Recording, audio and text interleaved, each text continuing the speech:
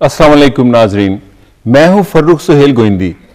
तनाजुर में हमारी आज की मेहमान हैं पाकिस्तान की मारूफ कानूनदान और इंसानी हकूक के लंबरदार मोहतरमा आसमा जहांगीर साहिबा। कैसी हैं आसमा? ठीक थैंक यू कितना अरसा हो गया आपको ये इंसानी हकूक का परचम बुलंद किए हुए पाकिस्तान में? हम लोग तो तहरीकों के जमाने में हमने होश पाई। जन्म लिया उन जन्म लिया तो फिर ज़ाहिर है तहरीकों के साथ चले। उस वक्त गवर्नमेंट हाउस पे काला झंडा लगाया तो लोगों ने ये अमीर खान का? बिल्कुल बिल्कुल उस अच्छा। वक्त फिर एक कमिटमेंट सी हो जाती है जवानी हो तो कोई इसको कहते हैं आप एडिक्शन सी हो जाती हाँ। है इस हाँ। चीज़ की मगर बाद में जब जब सोब्राइटी आती है फिर इंसान देखता है कि ये सिर्फ़ एक जमहूरियत के लिए जदोजहद नहीं है बल्कि इंसानी हकूक जो हैं वो जब तक जमहूरियत के साथ साथ ना चले तो जमहूरियत पुख्ता नहीं होती तो इसी तरीके से औरतों के हकूक के लिए जब जाउल हक साहब आए अपना पावर हुए में मुसलत हुए तो उस वक्त ये था कि बड़ी एंटी वुमेन पॉलिसीज़ और लेजिस्लेशन थी। और तब नए नए वकील भी हम कुछ खवात खातन बनी थी तो फिर हम औरतें इकट्ठी हुई वकला इकट्ठे हुई। और फिर उसकी जद्दोजहद फिर ये भी देखा और पॉलिटिकल प्रिजनर्स के साथ साथ हम जद्दोजहद करते थे वहाँ पे अपने एक बड़ा साहब होते थे जिन्होंने एक रिलीज़ कमेटी बिल्कुल बिल्कुल उन्होंने बड़ी उनकी कंट्रीब्यूशन है इसमें। उनसे कुछ सीखा।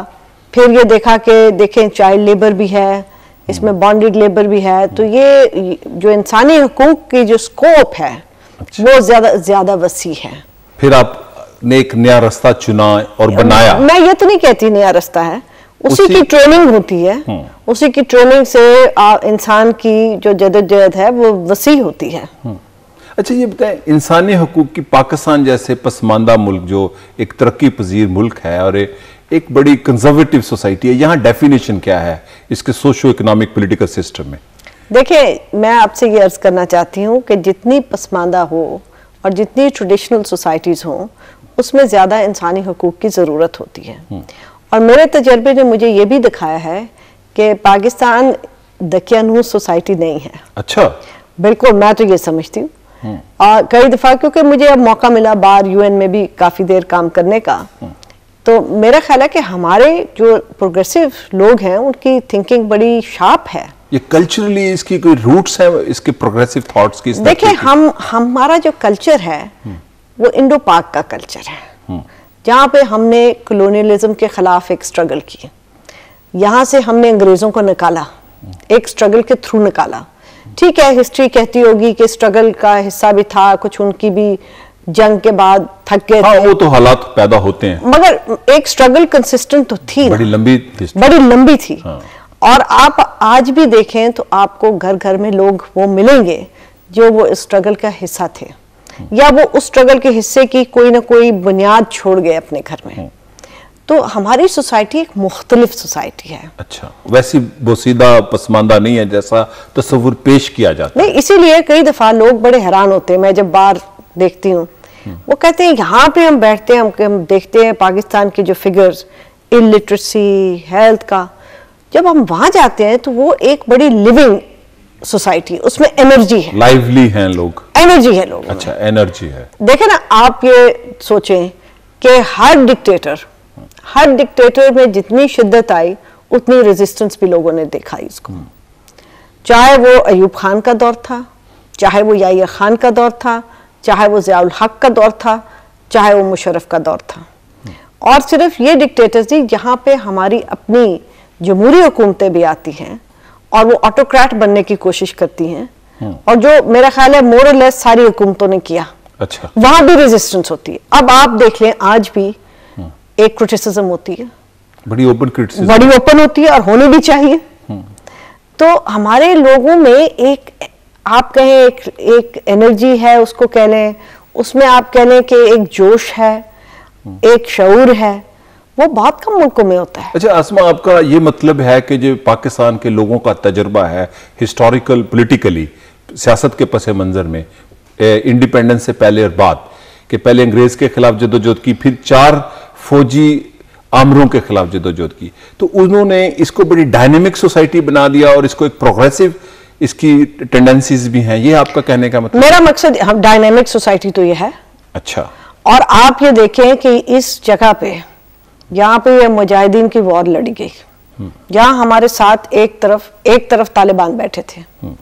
दूसरी तरफ़ वहाँ पे एक, ईरान में भी एक हुकूमत है, जिसके अपने डायनेमिक्स हैं, बड़े कंजर्वेटिव पाकिस्तान ने रेजिस्ट किया उसको।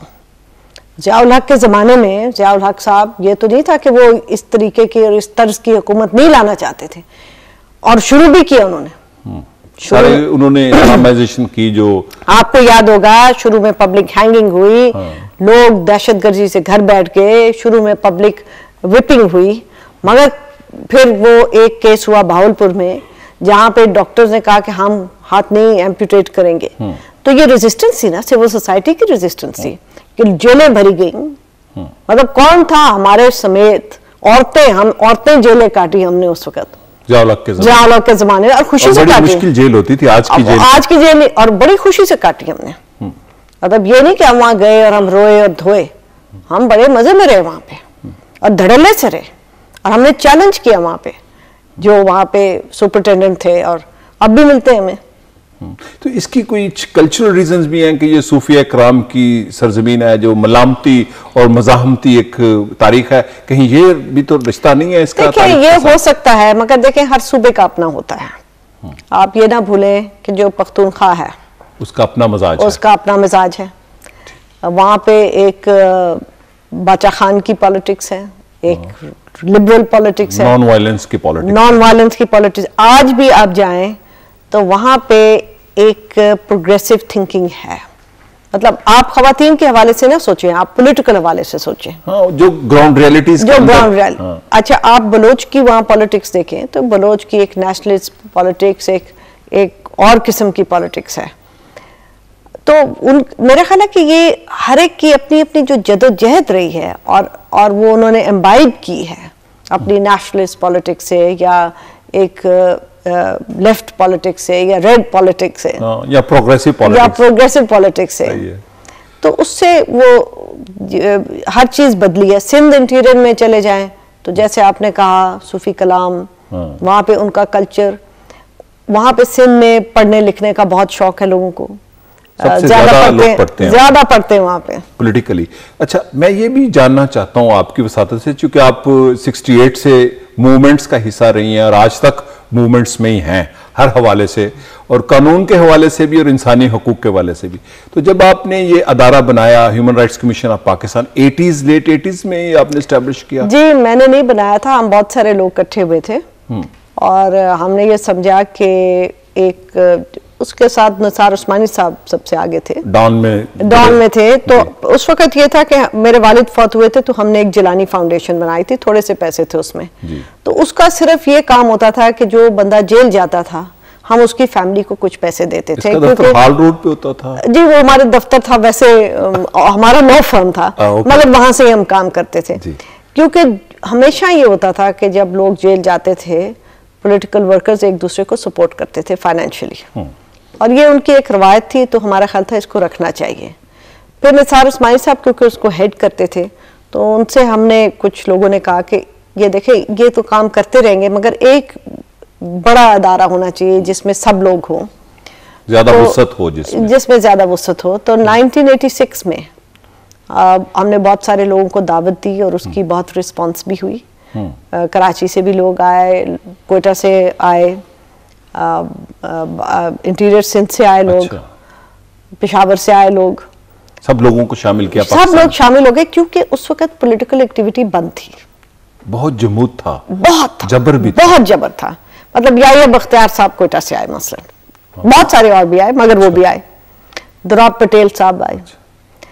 तो इसी तरह कोई जर्नलिस्ट थे उसमें सहाफ वो अपना लॉयर्स थे फॉर्मर जजेस थे सियासी कारकुन थे। एक्टिविस्ट थे हबीब जालिब साहब भी थे। अच्छा। तो वो एक समा ऐसा बन गया। तो वहाँ पे फिर हमने क्योंकि सोचा हुआ था ये तो वहाँ पे फिर हमने ये तय किया कि एक अदारा बना। अदारा बना जाए। फिर अदारे के अंदर एक इंटरम उन्होंने बॉडी बनाई। उस बॉडी ने छह महीने में फिर इलेक्शन करवाए। तो फिर चलता रहा अदारा। फिर अदारा आहिस्ता। इर्तका की तरफ़ गया। अच्छा मैं आपसे वो आपने एक बड़ी इंपॉर्टेंट बात की थी पॉलिटिकल प्रिजनर्स की। जियाउल हक के ज़माने में चूँकि लोगों को यहाँ पे तारीख मुरतब नहीं हुई पाकिस्तान हम्म। में आप इसमें एंगेज रही उस मूवमेंट्स में जो मुख्तलिफ़ थी वकला की मूवमेंट थी उस वक्त एक बहुत बड़ी बहुत बड़ी हम्म। मूवमेंट थी जिसमें सैयद अफजल हैदर थे आप थी मिंटो साहब थे। मिंटो साहब थे बड़े लोग थे और शुरू में कसूरी साहब कसूरी साहब थे बिल्कुल पहली पहला जुलूस जब मैंने वकालत ज्वाइन की तो कसूरी साहब ने के साथ चल गए। महमूद अली कसूरी साहब वो और राबिया कारी हम गए नीला गुंबद की तरफ़। जी। और उनको एक लाठी भी पड़ी राबिया कारी को भी। तो उसके बाद कई जुलूस निकाले वकीलों ने। 83 में औरतों का जुलूस निकला। जिस पे जो हमारे दफ्तर के बाहर हॉल रोड से निकला था। बड़ा मशहूर जुलूस बड़ा मशहूर जहाँ में खूब खूब पढ़ाई की पुलिस ने। ने। हाँ जी। मगर औरतें भी डटी गालिब को भी मार पड़ी वहाँ। जालिब साहब एक रात पहले मेरे वालिद के आए हुए थे तो उनको हमने बताया उन्होंने कहा हाँ कल मैं आ जाऊँगा मैं हाई कोर्ट में आपका वेट करूँगा. वो पुलिस ने हमें वहीं रोक लिया। तो मैं गाड़ी में गई उनको लेने के लिए। तो वो जो वहाँ पे आए तो उनको वहाँ पुलिस ने मारना शुरू किया। तो फिर उनकी एक गज़ल भी है ना पिटे सड़क के बीच। जी हाँ हैं? बड़ी मशहूर गज़ल है हाँ। अच्छा मैं ये पूछ रहा था कि कितने पॉलिटिकल प्रिजनर्स थे जो जियाउल हक के जमाने में गए? बेशुमार। हज़ारों में है या सैकड़ों में है? हज़ारों में हज़ारों में। है। और पब्लिक हैंगिंग्स नहीं सॉरी जो एक्सिक्यूशन हैं पहली दफ़ा पोलिटिकल एक्टिविस्ट पोलिटिकल एक्टिविस्ट बच्चों की। जिसमें रजाक 18 झरना बिल्कुल अठारह साल से बिल्कुल एग्जैक्टली अदरीस बेग। बिल्कुल आप सही कह रहे हैं। 18 साल से कम उम्र के बच्चों की। ये 18 साल से कम थे। अठारह देखें शायदा जबीन जो हैं जो पीपल्स पार्टी की एक्टिविस्ट हैं मैं उनकी इतनी कदर करती हूँ मैं समझती हूँ कि वो इतनी कमिटेड खातून हैं। वो जेल में थी उस वक्त जब हम जब उनके भाई को फांसी हुई। बिल्कुल बिल्कुल आप सही कह रहे हैं। वो भी तो छोटा बच्चा था। बिल्कुल सही। और आप सोचें जुल्म की इंतहा। वो क्यों टेरराइज करना चाह रहा था सोसाइटी को कोई थ्योरोक्रेटिक स्टेट बनाना चाह रहा देखिए एक तो टेरराइज दूसरा आपने पता नहीं ये शेक्सपियर की मैकबेथ पढ़ी है कि नहीं? जी। जब एक इंसान किसी और के कत्ल के बाद बादशाह बनता है तो उसकी जो एक रूह भी होती है ना वो भी उसको खटकती रहती है कि शायद वो आई है उसका गोस्ट आ गया है। तो भुट्टो को शहीद करने के बाद भी खौफ था। बिल्कुल वो भुट्टो गोस्ट जो है अच्छा। वो उसने उसको छोड़ा नहीं। अच्छा ये जो एक्टिविस्ट थे कहा जाता है कि पंजाब में कम थे क्या ऐसी बात थी? जेलों में ज़्यादा लोग नहीं थे? ज़्यादा देखिए मैं कह नहीं सकती क्योंकि ज़ाहिर है सिंध में बहुत ज़्यादा लोग गए होंगे क्योंकि उस वक्त मेरी इतना तजर्बा नहीं था। लेकिन बड़ी आप मुतहरक तो बड़ी थी, मैं आपको नहीं मैं पंजाब में तो देखती थी। पंजाब में बहुत सारे लोग गए। मैं देखा कि अब मसलन जब हम जेल गए थे हम तो इसलिए नहीं गए थे कि ना मेरा ताल्लुक है पीपल्स हाँ, पार्टी तो से ना- जमात में नहीं थे। नहीं थी और ना मेरा उस वक्त। हम तो गए हमें तो पकड़ा था वुमेन्स राइट्स के लिए। अच्छा। यानी वो इतने खौफजदा थे कि औरतें भी जेल औरतें भी बाहर निकल आए और औरतों के हकूक की बात करें तो शायद उनको कोई खौफ होता था कि शायद ये भी बगावत ना फूट पड़े बगावत ना फूट पड़े। तो हमें तो उन्होंने माल रोड से मैं तो गाड़ी चलाती हुई जा रही थी तो पकड़ लिया। पहले हाउस अरेस्ट में रखा था कि भाई ये औरतों की हकूक की बात क्यों कर रही हैं? वहाँ से छुटे फिर गाड़ी चलाते हुए माल रोड से पकड़ के फिर अच्छा, अंडर ट्रायल प्रिजनर आपने ज़िक्र किया जो किला का अकूबत खाना होता था बड़ा मशहूर और एक लाल किले का जेल रोड के पीछे ये खुफिया अकूबत खाने थे जो जियाउल हक के दौर में। औरतों को भी रखा किलों में? बिल्कुल रखा। औरतों को भी किले में रखा। और वो लोग मौजूद हैं जिनको टॉर्चर किया गया। देखें इंसान को कहना नहीं चाहिए क्योंकि लोगों के ऊपर बड़ा असर होता है टॉर्चर का। ट्रॉमा उस- हो जाता है। ट्रॉमा जी ट्रॉमा उस वक्त इतने यंग लॉयर्स थे promising young lawyers middle class के। ये अब आपको 1980 1981 टू थ्री तक की मैं बात कर रही हूँ। मैं उनके नाम नहीं लेती टीवी पे मगर you know they look like young promising कि ये जी रूल ऑफ़ लॉ की बात करेंगे ये कमिटेड लोग हैं। आहिस्ता आहिस्ता उनको इतना जदकोब किया गया। फ्रॉम ऑल साइड्स हर तरफ़ से? हर तरफ़ से। वो डिसअपॉइंटेड हो गए वो ब्रीफलेस हो गए उनको ट्रॉमे हो गए। और फिर एक नई जो उन्होंने क्लास निकाली अच्छा। जो अपॉर्चुनिस्ट क्लास उस वक्त निकली है। अच्छा। हम आज तक ये उस opportunist एक भी था। बिल्कुल बिल्कुल उसका रद्द आप प्रोफेसर उन दिनों के देख लें। देखिए अयूब खान की भी एक डिक्टेटरशिप थी। मगर अयूब खान की डिक्टेटरशिप ने इंटेलेक्चुअल को इतनी बुरी तरह नहीं मारा था। प्रोफेशनल को इतनी बुरा नहीं मारा था। इतने बड़े इंटेलेक्चुअल को हैंग नहीं था किया जो जियाउल हक ने। भुट्टो जैसे इंटेलेक्चुअल को हैंग किया। मगर जियाउल हक एक कल्चर का दुश्मन था। इंटेलेक्ट का दुश्मन था। लॉजिक का दुश्मन था। इसलिए वो उन सब लोगों को खत्म करता था जो कि सर उठाते थे सोचते थे लॉजिक से बात करते थे। तो आपका कहने का बड़ा इंटरेस्टिंग पॉइंट आपने रेज किया कि सोसाइटी में जो एक बड़ा इम्पैक्ट बना एक अपॉर्चुनिज्म का हिपोक्रेसी का एंटी इंटेलेक्ट एंटी पीपल ये डिक्टेटोरियल जो एटीट्यूड आया सोसाइटी में वायलेंस का तो ये जियाउल हक की पैदावार है सारी सोसाइटी में? देखिए मैं बड़ी कंट्रीब्यूशन मैं ये तो नहीं कह सकती कि वो पैदावार उनकी तो बिल्कुल है। और ठीक है सीड्स भी होते हैं मगर एक सीड्स होते हैं उनको हार्वेस्ट किया उन्होंने। उन्होंने हार्वेस्ट किया उस हार्वेस्ट को खत्म करने के लिए हमारे पास अभी तक कुवत नहीं आई। वो फलसफा भी नहीं शायद आया। फलसफा भी नहीं आया कुवत भी नहीं आई कुवत भी नहीं है। अब आप देखें कि आज आप अपने इर्द गिर्द देखते हैं मैं हैरानगी से देखती हूँ। पहले जमाने में ये ज़रूर होता था कि छोटी मोटी कोई करप्शन करे तो करे। और वो छुपता था करप्शन छुपता था। और लोग उसको फ्राउन करते थे। सोशली फ्राउन होता था। करते थे इसको आज नहीं। आज तो फखर से कहता है मैंने माल बनाया आज जो माल वाला है और उसी के पास सब कुछ है। ठीक है ना जी? ये एक वैल्यू सिस्टम खत्म हो गया। दूसरा वैल्यू सिस्टम ये खत्म हो गया कि अगर कोई किसी के साथ बेइंसाफी करता था तो शर्मिंदा होता था। सही है। अब धौंस का कल्चर है। धौंस का कल्चर है। तीसरी बात यह है कि सियासत जो लोग करते थे वो कम से कम किसी चक्की से तो निकल के आते थे सिवाय उसके कि जो किंग्स पार्टी होती थी। अब तो किंग्स पार्टी हो या दूसरी पार्टी हो मिला जुला मुरब्बा है। अब वही मराती याफ्ता या आपका मतलब मैफिया और जो इस किस्म के ग्रुप समर्च किए अपॉर्चुनिज्म के। आप बताएँ कि कहाँ आइडियोलॉजी कहाँ है। कमिटमेंट कहाँ है? छोटी जमातों में भी नहीं रही। कुछ हद तक बेहतर है। छोटी जमातें बेहतर कुछ हद तक बेहतर है। मगर आप एक और तरीके से काम नहीं कर सकते। कि आप तो कहें कि मैं तो अपने हाथ पीछे बाँध के लड़ूँगी जबकि पूरा माशरा जो है वो हाथ खोल के लड़ा है। आसमा आपने बहुत इंटरेस्टिंग बात की कि सोसाइटी को सारा जिसको कहना पल्यूट कर दिया। ज़्यादा। और आज आपने कहा कि अभी इम्कान नज़र नहीं आ रहा इसको रिफॉर्म करने का नए नहीं, बिल्कुल नहीं। आप एक नए कल्चरल पॉलिटिकल रेवोल्यूशन की बात कर रही हैं सोसाइटी में एक नया एजेंडा दिया जाए तब्दीली का। देखिए इतना आसान नहीं होता। मगर मैं ये समझती बहुत मुश्किल काम है। मगर मैं ये समझती हूँ कि आहिस्ता आहिस्ता रेजिस्टेंस के साथ और ये बार बार पावर करा के वो उन लोगों को वापस आना है जो कि कमिटमेंट से एक जद्दोजहद जिन्होंने की क्योंकि यहाँ पे कंफ्यूज भी हो गए लोग। डिसोलियनमेंट। एक जान के कंफ्यूजन की जाती है जनाब। कंफ्यूजन जो है ये सबसे पहली चीज़ होती है।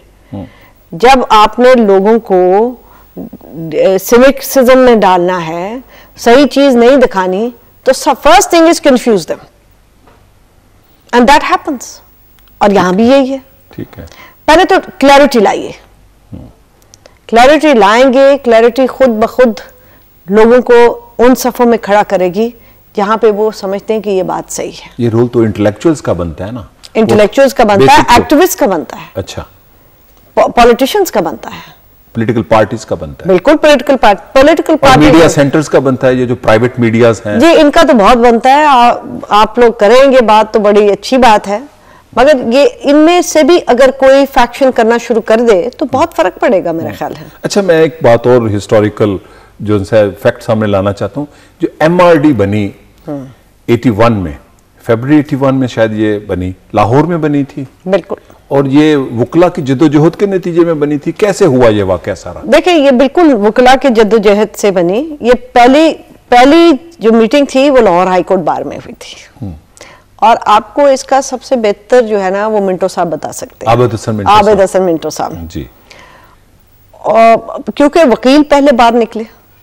मुझे ये अच्छी तरह याद है कि वही जुलूस पहले निकले वकीलों के। मुश्किल होता था ना हाई कोर्ट के अलावा तो लोग इकट्ठे नहीं थे हो सकते। इकट्ठे नहीं हो सकते थे। और फिर उसके बाद एक पाकिस्तान लॉयर्स कन्वेंशन हुई। बिल्कुल याद है मुझे। अच्छा मुझे अब डेट्स भूल रही मगर डेफिनेटली 83 से पहले थी वो। 81 में हुई थी। 81 में हुई थी। ये हाईजैकिंग से पहले हुई थी। ज़रूर हुई होगी। 81 81 अच्छा वहाँ 82 पे उस उस कन्वेंशन में सारे पाकिस्तान से लोग आए हुए थे। मुनीर मलिक साहब कराची से अच्छा, ये उसमें थे। बिल्कुल थे। सब्युद्दीन अहमद जो अब फौत हो गए हैं जो जज साहब थे वो मेरे मामू के बेटे भी अच्छा। हैं तो पुलिस इनको पकड़ के लेगी मेरे ख्याल मुनीर मलिक को पकड़ के लेगी। तो सब्युद्दीन साहब छुप रहे थे। तो हमने क्या किया कि हमारा जो हॉल रोड में दफ्तर है हमने इनको चाबी दे दी हमने कहा यहाँ छुप जाओ सारे। मेरा ख्याल है रशीद रिजी साहब भी थे but I am not sure about it मगर काफ़ी सारे वकील आए हुए थे कराची से। इसी तरह जो बाकी जगह से आए हुए थे वकील इनको भर के भर भर के ये लेके गए। अच्छा। तो ये वकीलों ने इस तरह जदोजहद शुरू की। वो एक जिसको कहना चाहिए एक शरारा फूटा और उसके बाद फिर एमआरडी बनी। शरारा छूटा। अच्छा जो वकला की तहरीक जियाउल हक के जमाने में थी और जो वकला की तहरीक जनरल परवेज मुशर्रफ के जमाने में थी क्या फ़र्क था दोनों तहरीकों में? बहुत फ़र्क था। क्या? एक फ़र्क ये था कि ज़्यादा तादाद थी। उस वक्त? अब। अब ज़्यादा था अब ज़्यादा तादाद वकील भी ज़्यादा हैं। वकील भी ज़्यादा हैं तादाद भी ज़्यादा थी। उस वक्त वो लोग आते थे जो कि जो वो वकील थे। थे। नहीं बाकी भी आते थे मगर वो यंगस्टर्स का जो था ना एलिमेंट इसमें। इस दफ़ा जब मुशर्रफ साहब के खिलाफ अच्छा। हुआ है तो जो यंगस्टर्स का एलिमेंट था ना वो यहाँ पे ज़्यादा नुमाया था। अच्छा। दूसरा मेरा ख्याल है कि इस तहरीक में वो एक ऑप्टिमिज्म थी। ज़्यादा होप्स नहीं थी कुछ ज़्यादा? ऑप्टिमिज्म बहुत थी कि हम हमारे में ये कुत है। और एक सॉलिडारिटी बहुत थी। शुरू में बहुत सॉलिडारिटी थी। ये मैं नहीं कह सकती कि हमने गलतियाँ नहीं की मगर तो होती हैं मगर हमने उससे तजर्बे से सीखा भी। मगर शायद ही ऐसी तहरीक में मैंने हिस्सा लिया हो जो कि ये वकीलों की तहरीक थी जिसमें एक लुत्फ भी आया। ये वाली में। बिल्कुल। इडियोलॉजिकल क्या फ़र्क था दोनों तहरीकों में? दोनों चूँकि डिक्टेटर्स के तो खिलाफ थी ना। नहीं वो ज़्यादा पॉलिटिकल पार्टीज़ की बुनियाद पे चलती थी। पहली? पहली। अच्छा। ये शुरू तो बिल्कुल वकीलों के कंधों पे हुई। और टोटल वकीलों के कंधों पर टोटल वकीलों के कंधे पे। पॉलिटिकल पार्टीज़ तो फ्रिंजेस पे बाद में आई। फिर शामिल हो गई फिर एक और रूप ले लिया तहरीक ने। मगर ये एक खालिस तन वकला की तहरीक थी। उसमें एक लुत्फ भी आया उसमें जो नौजवानों ने नारे नए बनाए। कई सालों से नए नारे नहीं बने थे मसलन। अच्छा कैसा मसलन? कई किस्म के नारे। अच्छा। ए, हमारे तो पुराने वो हो गए थे ना एक धक्का और दो हाँ, ये तो दीवारों को। हाँ। अब नए नए थे अपना अपना रूल ऑफ़ लॉ के हवाले से। और अ, लेकिन इसके बारे में मुशर्रफ के खिलाफ नए नारे। और बड़े मज़े मज़े के थे। पेजे के नाम से। अच्छा। अब वो आपको टेलीविज़न पे क्या बताएँ? खैर है कोई बात तो नहीं मुझे बहुत वो मज़ा वो जो जोश और खरोश था। फिर जिस तरह इन्होंने आपने देखा यंग लॉयर्स ने अपनी चेन्स पहन के एक चले वो। एक विजुअल जो था ना उसका बहुत लेकिन कुछ लोगों का क्रिटिसिज्म ये भी है कि इस वकला की तहरीर में कुछ कंजर्वेटिव थॉट्स जो हैं वो भी प्रमोट हुई। देखिए बात ये है कि मैं आपसे एक अर्ज़ करूँ। आप उसको ये एक तरीक ऐसी है इसको इसको स्टडी करने की ज़रूरत है। क्योंकि अभी तक हुई नहीं स्टडी इस पर। इस पर स्टडी नहीं हुई। मुनीर मलिक साहब ने एक किताब इसके ऊपर लिखी है। लेकिन मेरे सुनने में आया हो कि है। डिटेल नहीं है कुछ ज़्यादा कुछ नहीं डिटेल है उसमें। एनालिसिस नहीं है कुछ ज़्यादा इस मूवमेंट का नहीं है तो उसमें कम से कम क्रोनोलॉजी है। हाँ क्रोनोलॉजी है। तो वो मेरा ख्याल है कि एक इसलिए कंट्रीब्यूशन है। हाँ। एनालिसिस अब करेंगे क्योंकि उन्होंने लिखा ना कि ये तो अनफिनिश्ड मैंने आपको इसलिए सवाल हाँ। किया ना आप एनालिसिस करें उन्होंने कहा अनफिनिश्ड है। अब आप ये पहली तरीक है। यहाँ पे फैज साहब की गज़ल चली हम देखेंगे। ठीक है। ये इस तरीकी ये इस तरीका जिसे कहते हैं ना सॉन्ग बना। बिल्कुल दुरुस्त है। उसके ऊपर वकला ने खातन और आदमियों ने बाशमूल मेरे हमने उठ के ज़रा सा। उसके ऊपर कोई एक ठीक है। लुड्डी भी डाली। सही है। अब वो एक माहौल सा बना। एक लिबरल माहौल बना जो सामने यंग लॉयर था वो लिबरल था। अच्छा। बिल्कुल एब्सोल्युटली और हमारे जो वकला हैं जो नॉन लिबरल भी हैं वो भी अपना इस तरह ध्वंस नहीं जमाते वहाँ पे। अच्छा। मतलब इन द सेंस के डेमोक्रेटिक वैल्यूज़ हैं डेमोक्रेटिक वैल्यूज़ हैं। देखो ना अब ठीक है तीन चार लोग तो कहीं इधर भी होते हैं या हाँ, उधर है, ये तो होता है। मगर बाय एंड लार्ज ये बार एसोसिएशंस में वो घुटन नहीं है। अच्छा एक बात इसमें मैं पूछना चाहूँगा। कुछ लोग कहते हैं कि लॉयर्स की इस मूवमेंट का जो इसको मैस मूवमेंट नहीं बन, बनने दिया गया कॉन्शियसली ये दुरुस्त बात है क्योंकि मैस मूवमेंट नहीं थी ये। नहीं मैं ये नहीं कहती कि ये दुरुस्त है। अब पहले आपके सवाल का बात मैं थोड़ा सा ये ऐड करना चाहती हूँ कि एक वक्त फिर आ गया था जब लोग आहिस्ता आहिस्ता पीछे होने लगे। बिल्कुल। और वो वैक्यूम जो है वो और चेहरों ने फिल कर दिया। वो फिर उसकी मूवमेंट की थोड़ी शक्ल बदली आखिर में आके। बाकी ये मैस मूवमेंट क्यों नहीं बनी? हालात तो बड़े साजगार मेरा। ख्याल है कि मैस महँगाई थी गुर्बत थी। आप सही कह रहे हैं लॉ एंड ऑर्डर का मसला था क्यों नहीं बनी? देखिए एक तरह से बनी भी है। जब यहाँ से लॉन्ग मार्च से हम गए थे रस्ते में हर किस्म का इंसान था। मगर लोग अपने अपने मसाइल में इतने उलझे हुए लेकिन जब मसाइल होते हैं तो मसाइल के हल के लिए आते फिर फिर सेटल्ड सोसाइटी में लोग नहीं आते वो जब हल के लिए आते हैं ना या तो उनको कोई ऑर्गेनाइज करके लाता है।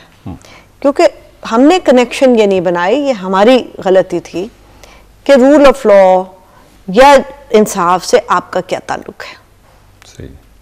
हमको इस मूवमेंट को प्रिंसिपल्स पे रखनी चाहिए थी शख्सियात पे नहीं रखनी चाहिए थी।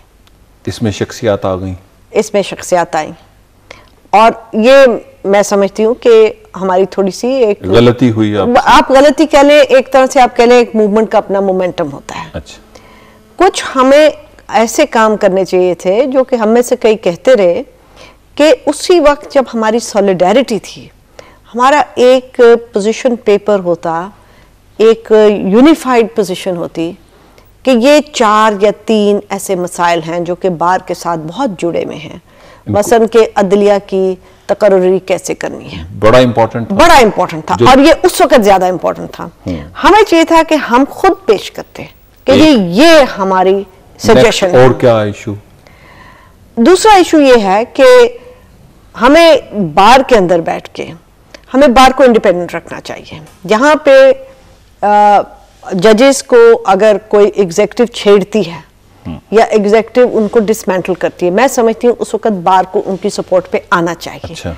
कल भी आई थी आज भी आएगी और आइंदा भी आएगी।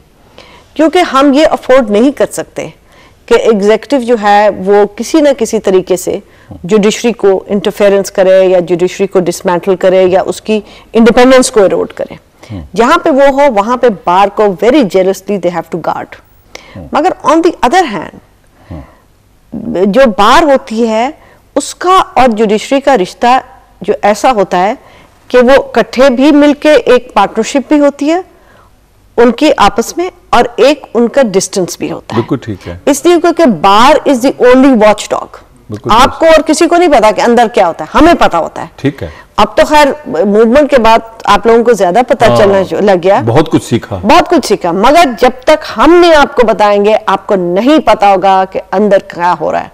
वो रोल हमने अबैंडन किया। अच्छा। अच्छा एक बात और। वुकला की तहरीक ने 2007 और बाद में 2008 मोहतरमा की शहादत की वजह से बायकॉट किया। ये ऑफिशियली उनका ऐलान था गलती नहीं थी। इतनी बड़ी डेमोक्रेटिक देखिए मैं तो समझती हूँ उस वक्त भी हम में से बहुत सारे लोगों ने कहा कि ये गलती है रिकॉर्ड पे कहा। लोगों ने वोट डाला। लोगों ने वोट डाला। Private media ने भी कहा नहीं बात ये है वो एक प्रोफेशनल बॉडी थी। प्रोफेशनल बॉडी किस तरह मुझे कह सकती है कि आप एक वकील हैं आप अपना वोट का हक ना इस्तेमाल करें। ये बड़ी हैरानगी की बात वी वेंट टू फार और उस वक्त भी हम मौजूद हैं हम में से वो लोग। आपने फेवर की इलेक्शन में हिस्सा लेने की जी मैंने तो बल्कि मैंने वोट भी डाला और सबको पता है और मैं मैंने जाके इलेक्शन ऑब्ज़र्व भी किया। अच्छा। और बहुत सारे वकील इलेक्शन लड़े। देखिए ना ये मैं समझती हूँ कि ये ये गलती नहीं थी एक डेमोक्रेटिक देखिए उस वक्त बहुत सारे वकील जो लीडरान थे वो तो जेलों में थे। कहाँ से ये एक डिसीज़न हुई? अभी तक नहीं पता। अभी तक नहीं पता। और लोगों ने वोट डाला लोग आगे निकल गए। लोग आगे देखें आप एक 45 परसेंट से ज़्यादा turn plus you see you are मैं हमेशा यहाँ पे आपको पता है एनजीओ के साथ मैंने बेशक काम किया हाँ। मगर मैं उनसे ये कहती हूँ कि एनजीओ सियासी पार्टियाँ नहीं होती हैं। हो भी नहीं सकती। और ना हो सकती हैं। तब्दीली का इंस्ट्रूमेंट बन भी नहीं सकती। अपना मैंडेट है आप उसमें काम करें। आप यही कर सकते हैं उससे आगे नहीं कर सकते हैं। या एनजीओ बार एसोसिएशन नहीं बन सकती। या बार एसोसिएशन एनजीओ वाला काम नहीं कर सकते हैं। मुश्किल है उनके लिए। सही है। और एक तरह से बार एसोसिएशन एक प्रोफेशनल बॉडी है। सही है। It is in a way an NGO but a professional body सही है। अब प्रोफेशनल बॉडी डॉक्टर्स की प्रोफेशनल बॉडी होती है। डॉक्टर्स की प्रोफेशनल बॉडी ये तो कह सकती है कि मुझे जब ये कहेंगे कि जी आप एक कोड़ा लेके किसी को कोड़ा मारें वो मेरा काम नहीं है। मगर प्रोफेशनल बॉडी ये तो नहीं कह सकती है कि हम इलेक्शन लड़ें या ना लड़ें या उसमें वोट दें या ना दें। सो ये एक बुनियादी बात है। जो समझनी चाहिए। जो समझनी अच्छा उन्हीं दिनों इमरजेंसी के दौरान शायद मोहतरमा बेनजी भुट्टो आपके घर तशरीफ़ लाई और आपने लाहौर के कुछ एक्टिविस्ट और कुछ लोगों को इकट्ठा किया वो क्या ज़रूरत पड़ी थी पहले हम दोनों अरेस्ट हो गए थे। हाँ, मैं भी अरेस्ट थी वो भी अरेस्ट थी। थी। तो जिस दिन मुझे छोड़ा तो उन्होंने कहा कहाँ हो? मैंने कहा मैं जा रही हूँ हाई कोर्ट तो उन्होंने कहा "आ जाए मैं गई वहाँ पे। तो थोड़ी देर बैठी उन्होंने मैं उठने लगी तो उन्होंने कहा बात ही नहीं हो सकी। अच्छा। मैं कहा बात कैसे? आपके अंकल सीआईडी यहाँ बैठे थे बात अच्छा। कैसे हो सकती है? तो कहने ये अच्छा फिर मैं खाना खा के तुम आपकी तरफ़ आऊँगी। तो ज़ाहिर है मैंने कुछ लोगों को बुलाया जो खुद मेरी तरह सोचते थे ताकि मोहतरमा से वो बात कर सके। और दूसरा मैंने कहा कि जदोजहद में सारे हम इकट्ठे थे तो मोहतरमा आ रही है लोगों की ख्वाहिश होती मिलना। तो फिर वो आई कुछ साढ़े नौ बजे डेढ़ दो बजे गई। बड़ा लंबा सेशन हुआ बड़ा लंबा सेशन था। हमें भी बड़ा इश्तियाक था सुनने का अंदर क्या गुफ्तगू हुई तो क्या गुफ्तगू हुई किस इश्यूज़ पे हुई? बहुत सारे इश्यूज़ पे हुई। सवाल उनसे किए गए ये आप क्यों कर रही हैं? उनका बेसिकली ये कहना था कि बहुत खून खराबा हो गया है। मैं नहीं चाहती कि मेरे वर्कर्स को और कोई अ, अब खून देने की ज़रूरत पड़े। This is the only way out और हम बड़ी मुश्किल वक्त में हैं। दुनिया हमें देख रही है। और अगर हम अपना घर खुद नहीं साफ़ करेंगे तो लोग आके साफ़ करेंगे। फिर फिर उनकी लोग उठ गए फिर आए फिर बात की। She was quite worried she knew what she was in for अच्छा। She oh yes she did not have any qualms. No. अच्छा। She knew. अच्छा she knew. जो मोहतरमा 86 की थी और फिर 88 की और 93 की कोई फ़र्क था बेनजी भुट्टो में? ज़ाहिर है देखिए। मेच्योरिटी आई पॉलिटिकली बिल्कुल बिल्कुल। देखे 88 में उनकी इतनी तजर्बा तो नहीं था। हाँ थर्टीज में थी वो। फिर मुझे याद है कि दूसरी दफ़ा वो आई तो उन्होंने एक दफ़ा मुझे कहा बुलाया और कहा देखा इस दफ़ा मेरी बड़ी इजी रही है। अच्छा। तो मुझे बड़ी हँसी आई कि अभी इनको पता चलेगा कितनी इजी होती है ये। अच्छा। तो कुछ महीने बाद उनकी गवर्नमेंट बर्खास्त हो गई। और उसके बाद मैंने देखा देखे बात यह है कि मैं मेरी उनसे बहुत इख्तलाफात थे सियासी तौर पे। दोस्ती भी बड़ी थी। दोस्ती थी। इख्तलाफ और दोस्ती बिल्कुल दोनों दोनों चीज़ें दोनों चीज़ें। और वो इख्तलाफात को लेती लेकिन आप सॉफ्ट कॉर्नर भी रखती थी उनकी। क्योंकि वो औरत थी मैंने इस माशरे में देखा है। अच्छा। एक औरत जो कि एक सियासतदान हो और उनके लिए भी प्रॉब्लम है? क्या हमने उनके साथ क्या नहीं किया? एक औरत होने के नाते हुआ या देखिए मैं समझती हूँ भुट्टो का बेटा होता ना। उसके साथ तो, भी तो हुआ दोनों। नहीं देखें जिस वो देखें मौत और ज़िंदगी अल्लाह के हाथ में होती है। जिस तरीके से उनको ह्यूमिलिएट किया हर वक्त ह्यूमिलिएट किया कोई मौका नहीं जाने दिया। हम्म, तो इसलिए आपकी सिंपथी थी बिल्कुल क्योंकि मैं खुद देखती हूँ कि अगर मैं अपना बाप का बेटा होती तो इतनी बातें मेरे ऊपर ना बनती जितनी कि अब बनी कि मैं औरत हूँ। अच्छा। अच्छा ये बताएँ कि अब आपने सुप्रीम कोर्ट बार एसोसिएशन का इलेक्शन लड़ने का फैसला किया। जी। और आपने human rights commission of Pakistan से भी रिजाइन कर दिया। आपने इसको क्यों इतना अहम समझ लिया कि उस इंसानी हकूक का परचम एक तरफ़ रखा और अब वकला के इलेक्शन में आगे क्या फ़र्क है? नहीं क्यों ये बात यह है कि ह्यूमन राइट्स कमीशन में तीन साल के इलेक्शन होते हैं। बिल्कुल होते हैं। तो मेरी टर्म तो वैसे भी एंड होनी थी मार्च अप्रैल में। और चेयरपर्सन होने के लिए ज़रूरत नहीं होती है। मैं जब उसकी मेंबर भी थी तब भी मैं उसके लिए उतना काम करती थी बहुत बड़ी ज़िम्मेदारी आप लेने जा रही हैं। नहीं मैं ये समझ रही थी कि अब एक ह्यूमन राइट्स के फ़ील्ड से ताल्लुक रखता है रूल ऑफ़ लॉ जिसकी जद्दोजहद भी हम करते रहे हैं। और ख़ास तौर पे मुझे जब मेरे साथियों ने पूछा तीन महीने पहले भी पूछा था मैंने ना की थी। मगर आहिस्ता आहिस्ता मुझे ये जब कहते रहे और मुझे खुद ये एक एहसास हुआ। परसुएड किया आपको? वुकला ने वुकला ज़ाहिर है मैं तो वुकला की अच्छा, बात इस वक्त वकील भी तो हैं? नहीं देखे ना उस वक्त मैं किसी और की तो बात थी ना किसी और ने तो नहीं ना इलेक्शन करने होते। ये तो वकील ही होते हैं ना। हम्म। नहीं सियासी लोग भी तो नहीं नहीं सियासी लोगों ने क्यों करना? अच्छा। कौन से सियासी लोग पूछेंगे? सियासी लोग तो वोट लेते हैं। हमारे अगर सियासी लोग आ जाएँगे तो हमारे वोट कम होंगे। अच्छा। मगर फिर मैंने इसलिए फैसला किया क्योंकि मैं खुद इतनी फ्रस्ट्रेट होती थी। ये जो कुछ हो रहा है क्या हो रहा है? एक तो टेंशन जो हैं बिटवीन जो जो अदलिया और पार्लियामेंट और एग्जेक्टिव के दरमियान। मैं ये नहीं कहती कौन सही है कौन गलत है मगर कोई ब्रिज बिल्डिंग रोल नहीं तो यू अदा किया। You gonna be a bridge between has to be a bridge building भाई आपने प्रॉब्लम किधर है?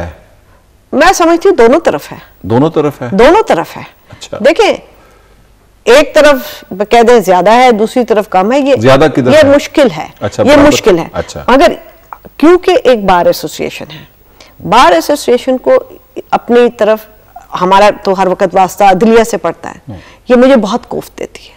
अच्छा। मुझे कोफ्त होती है वहाँ देख के। मुझे कोफ्त होती है कि साढ़े आठ बजे हमें बताया जाता है कि अगले दिन केस है। कैसे समझते हैं कि आप ब्रिज बनेंगी?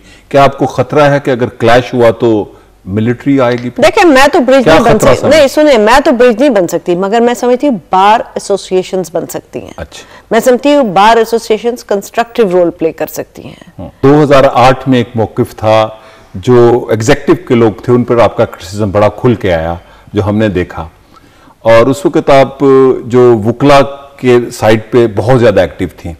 आज आपकी खामोशी इधर है और आपका पॉइंट ऑफ़ व्यू जो उनसे है वो जुडिशरी की तरफ़ ज़्यादा क्रिटिकल है। देखिए, क्या वजह है? नहीं। आपने टिल्ट लिया या उधर कुछ नहीं मैंने ना टिल्ट लिया है। मुझे काश के मैं टिल्ट लेती तो मैं बहुत कुछ कर लेती। आपको मैं बता रही हूँ लेकिन आपने तो बड़ा अच्छा कुछ किया यहाँ टिल्ट टिल्टों वाले लोग जो है ना वो बहुत ऊँचे टिल्ट करते हुए हाँ, मैं ये जानना चाहता हूँ चाहता देखें उस वक्त जुडिशरी को थ्रेट था। अच्छा। और एग्जेक्टिव कौन सी थी? एक आमिर की एग्जेक्टिव ये फ़र्क है कि नहीं? बिल्कुल है। यहाँ पे आपकी चाहे अच्छी बुरी जैसी भी है एक इलेक्टेड पार्लियामेंट है। इलेक्टेड पार्लियामेंट के कई एक रिस्पॉन्सिबिलिटीज होती है कई उनके दायरे में इख्तियार होते हैं और जुडिशरी के अपने इख्तियार हैं। अब इलेक्टेड पार्लियामेंट क्या अमेंडमेंट नहीं कर सकती कॉन्स्टिट्यूशन की? कर सकती है। अच्छा। मगर इलेक्टेड पार्लियामेंट अगर एक ऐसा कानून बनाएगी कानून जो कि जो कि कॉन्स्टिट्यूशन के खिलाफ होगा फंडामेंटल राइट्स के तो जुडिशरी को हक है कि उसको स्ट्राइक डाउन कर सकती है। अच्छा जुडिशरी को हक है उसको। ये तो कॉन्स्टिट्यूशन में है ना। ठीक है। इसको बैलेंस कहते हैं ना चेक्स एंड बैलेंसेस सही। मगर अगर चेक्स एंड बैलेंसेस ये है कि कॉन्स्टिट्यूशन का भी फैसला अमेंडमेंट का जुडिशरी करेगी एग्जेक्टिव को कहाँ लगाना है वो भी जुडिशरी करेगी तो फिर एक सिस्टम चल नहीं सकता। एक तरह से मैं समझती हूँ जुडिशरी भी सच्ची है। कि हमारी जो एग्जेक्टिव है वो बाज ही नहीं आती। नेपोटिज्म से बाज नहीं आती। इल गवर्नेंस से बाज नहीं आती। करप्शन से बाज नहीं आती। मगर ये काम जो है वो एक इवन हैंडेडली करना पड़ता है। आपका मतलब है ये ट्रांजिशन है डेमोक्रेसी की और का नहीं मतलब मैं समझती हूँ ट्रांजिशन से ज़्यादा है। अच्छा। ये मुझे लगता है कि एक बड़ी विशेष फाइट फॉर टर्फ है। अच्छा। आप अपने इख्तियारात इस्तेमाल करें अपने आप को ठीक कर लें। दूसरे ठीक हो जाएँगे। अच्छा अस्मा आपसे पूछना है आपको पहले सतारा इम्तियाज़ मिला था? जी। 95 में। 95 अब हलाल इम्तियाज़ मिला जी। ये किस बुनियाद पर मिला? आपकी क्या कंट्रीब्यूशन इंसानी हकूक के हवाले से? जी दोनों इंसानी को आप इस पर बड़ा प्राइड फील करती हैं? नहीं क्या प्राउड फील करना? मगर ये बात ज़रूर है कि जब अपनों से मिलता है क्योंकि ये कमेटी देती है मैंने पहले पता किया कि भाई ये कौन कैसे है कमेटी में? मैं इसलिए पूछता हूँ चूँकि लोगों का क्रिटिसिज्म है आप पर कि आपने ये लिया है। हाँ बिल्कुल। आप जैसे लोग तो बागी लोग बिल्कुल है ना? बिल्कुल तो बिल्कुल ले लिया? बिल्कुल। कैसे एक्सेप्ट इसलिए क्योंकि ये मैंने सोचा बड़ा हमारे जो प्रीवियस चेयर थे दुरा पटेल साहब को भी मिला था। हाँ। 95 में उन्होंने भी लिया था। और उस वक्त हमारी ये तय हुई थी कि क्योंकि ये कमेटी होती है। हम्म। ये कोई एक शख्स की वो नहीं है क्रेडिबल कमेटी थी। जो मुझे पता चला कि वो तो क्रेडिबल थी। जो एचआरसीपी के डोनर्स एजेंसीज कौन हैं आपके इस ह्यूमन राइट्स के? बहुत सारे हैं। कुछ नॉर्वेजियन एनजीओस हैं। अच्छा। कुछ डच हैं। ये बेसिकली हैं हमारे। नॉर्वेजियन तो बड़ी सोशल डेमोक्रेटिक सोसाइटी है। बिल्कुल। अच्छा। और हमारे यहाँ पे बहुत साल पहले क्योंकि तब तो कोल्ड वॉर थी हमारी काउंसिल ने जो हमारी गवर्निंग बोर्ड है उसने डिसाइड किया था कि हम किसी सुपर पावर से नहीं लेंगे। इंग्लैंड से नहीं लेते आपका कोई डोनर नहीं इंग्लैंड वेल हम ले लें मगर हमें दिए नहीं उन्होंने आपको नहीं दिए? हाँ, हाँ। अच्छा। हम ले लें उसके ऊपर हमारा कोई वो नहीं है अच्छा। मगर हमने लिए नहीं। मतलब वो मौका नहीं आया कोई। मगर कभी यूएस से नहीं लिए। अच्छा। कभी रशिया से नहीं लिए। जो सुपर पावर्स जो सुपर पावर- उस जमाने में समझी जाती। या आज भी जो इन्फ्लुएंस करती हैं।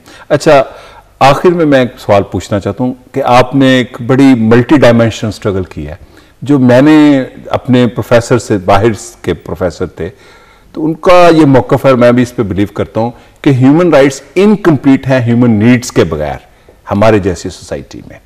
ये दोनों का साथ चोली दामन का है। ह्यूमन नीड्स नामुकम्मल हैं ह्यूमन राइट्स ह्यूमन नीड्स के बगैर। आप इस पे बिलीव करती हैं? नहीं ये तो आप ज़ाहिर बात है। देखें ह्यूमन राइट्स सिर्फ़ एक सिविल एंड पॉलिटिकल राइट्स नहीं होते बट सोशो इकोनॉमिक राइट्स भी होते हैं। आप इस पर ज़ाहिर है। और अगर आप सोशो इकोनॉमिक राइट्स को नहीं देखते तो वो फिर सिविल एंड पॉलिटिकल राइट्स पे भी इफ़ेक्ट होता है। मगर सिर्फ़ आप कहें सोशो इकोनॉमिक राइट्स को आप देखें और सिविल और पॉलिटिकल राइट्स को परे कर दें तो यू विल हैव नीदर ठीक है। अच्छा आप इलेक्शन लड़ने जा रही हैं आपका क्या एजेंडा है एक लफ्ज में? आइंदा एजेंडा तो मेरे ख्याल मैंने बता दिया है। एक इंडिपेंडेंट बार एक ऐसी बार जो कि हक की बात करेगी। और हर प्रोफेशनल वकील को ये इजाज़त होगी और ये एक्सेस होना चाहिए चाहे मैं हूँ चाहे आप है कि वो अपनी राय दे सके। अच्छा ठीक। शुक्रिया आसमा आप आपने वक्त निकाला। मैं आपका बड़ा ममनून हूँ पीटीवी की तरफ़ से और अपनी सारी टीम की तरफ़ से। आपकी मेहरबानी आप तशरीफ़ लाई नाजरीन ये थी पाकिस्तान में इंसानी हकूक़ की लंबरदार और मरूफ कानूनदान आसमा जहांगीर।